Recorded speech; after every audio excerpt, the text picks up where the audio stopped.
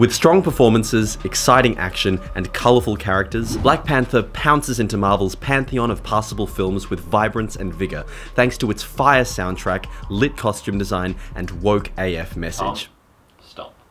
But fam.